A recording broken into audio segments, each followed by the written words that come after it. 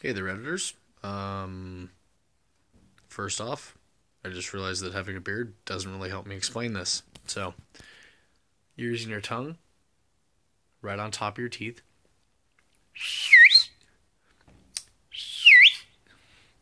Um, when I first started doing it, it was an issue where I just I sat there and I went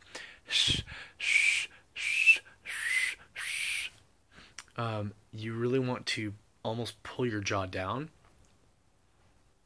and then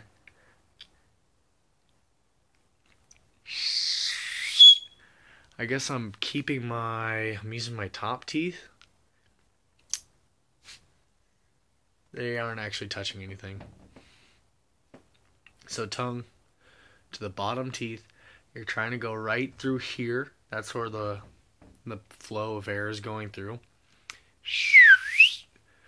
Any sort of intonation is done by moving the tongue and a little bit of your Adam's apple. Um, let's ask questions.